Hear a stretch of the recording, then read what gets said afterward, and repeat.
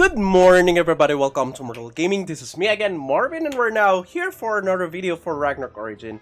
And this hour we're going to be talking about the best purple card farm spots that I could recommend to you guys. But please, first of all, take note that there are other possible spots, but these are all the best spots that I know. Since most of you would be now focusing on the purple card grinding, particularly if you have a times 3 card drop on your uh, server or even times 2, it will be really helpful.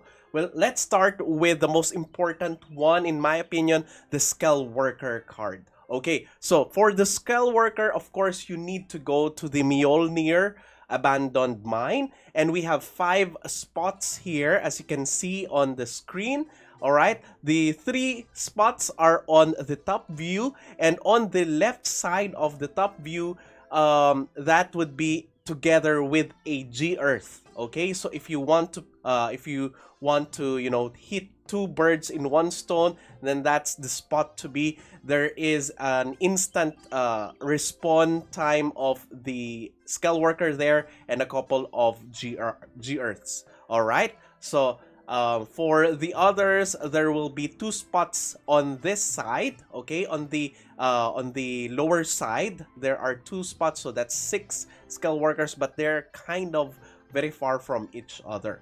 All right. So next would be the Minorous. Okay, Minorous are good for. A Minorous card is good, very good for MVP. Uh, TSA and different kinds of dungeons. I could offer you one uh, spot. This has 6 respawn on the Minorous. I think 6, yes. 2 spots with 3 Minorous uh, respawns on it. And it is on this one. So I um, usually farm there.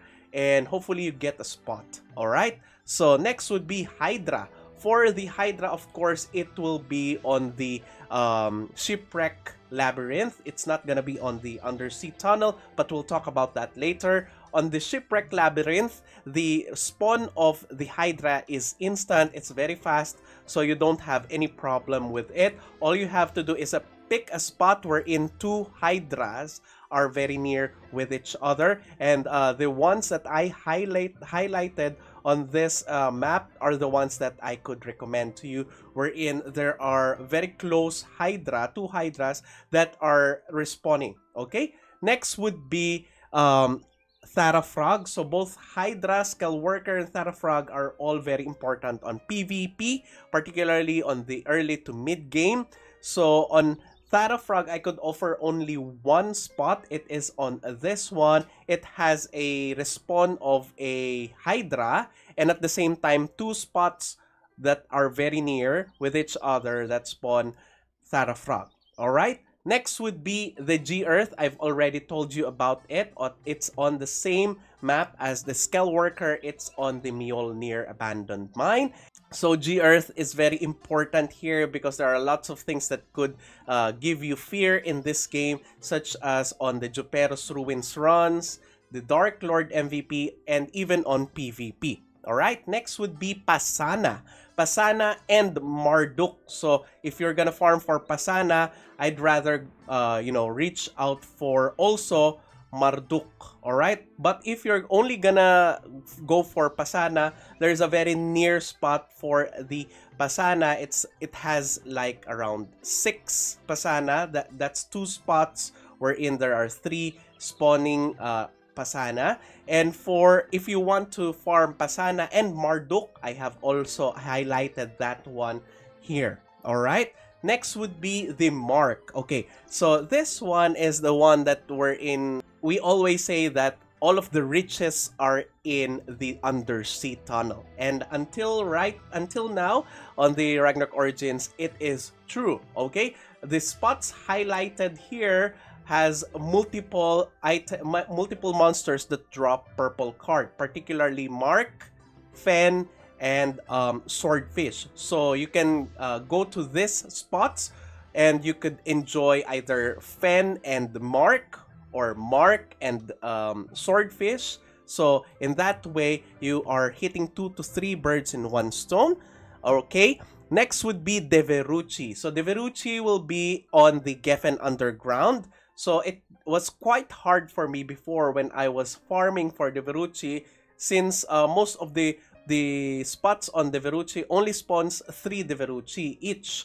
So there is just one spot here highlighted wherein you could get 4. I think 4 Deviruchi. One uh, spawning every now and then and then another spot very near to it that spawns 3 Deviruchi. Okay? So Deviruchi is very important on uh you know on PvP, particularly on endgame.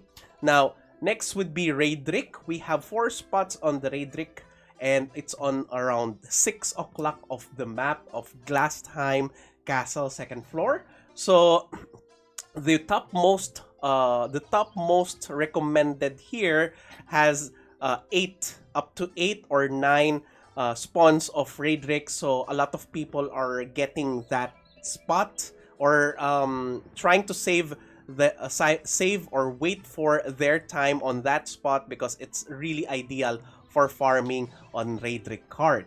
But if you don't have the time, you could go for the other three spots that I have below it, okay, which spawns three to four Raydric uh, monsters, okay? So next would be the Alice. Alice is very important. Alice card is very important for uh, you know fighting bosses. So maybe on mid game or on early game, you won't need the Alice card, but on the late game and an end game, uh, you would always need it on Temple of Nightmare, on Freya Mirage. So it's very useful. Okay, so uh, we have four spots here. Each has three to four spawning um, Alice. So they're quite far from each other. So if you are a melee character, it will be kind of hard for you to farm on this. But if you are a warlock, a wizard, or an, any ranged job class, it will be easier. Okay? Next would be the alarm. Alarm is really important uh, on your uh, on your shoes because it gives you HP, vitality, and at the same time a pushback on the melee attackers. Okay, so it will it is located on Clock Tower, second floor, and we have three spots. Although we have a ton of spots here for alarm, I could give you the three best spots near uh, 1 o'clock. So, near the portal for the night Nightmare Clock Tower. Okay, so next would be now focusing on your card decks. So for your card decks, so let's start with the major brutality cards that you need to, you know, complete. First is the Archer Skell and the Soldier Skell. As you can see right now, it is on Pyramid, second floor, and you have two spots here, recommended spots, wherein you could kill both Archer Skeletons and Soldier Skeletons. So it's just like, again, hitting two birds in one stone. The next one is on Strouf. Again, it is on Undersea Tunnel, but this time it's on the fourth floor. Okay, so that would be, but this time it is on fourth floor. This one, but I would recommend for you to uh, either go for any of these spots. Next would be the Garm Baby. There are tons of spots for the Garm Baby, but I could give you two recommended spots wherein it is on the top of the map. Alright, and the last one is on Cruiser. So Cruiser is kind of just like the Deviruchi. It I can only give you and recommend one spot wherein you could uh, you know target two spots uh, of cruisers but they're kind of far from each other so if you are not yet a third job I don't think you would be it would be easy for you to farm on this spot but uh, I would also give you other spots on this any uh, anywhere on this map, you could always see a spot of Cruiser wherein it spawns three of those monsters. So you couldn't get any more on that. Okay, that's why among the cards of the major brutality, that is kind of the hardest. Okay, let's now go to the major prophecy. Major Prophecy is very good for, of course, the counterpart of Major Brutality. Major Brutality is for the physical damagers the major prophecy is for the magic users. Okay, let's now first go to the um, nightmare. Okay, nightmare. So we have a ton of spots for the Nightmare. We have four spots here. The first one is on the 12 o'clock of the map. The next one is on the 6 o'clock. And the last two are on the around 7 to 8 o'clock. Alright? Next, let's go to Payon Cave, wherein we will be now focusing on Nine Tails card. So we have only one recommended spot for Nine Tails since this is the best spot.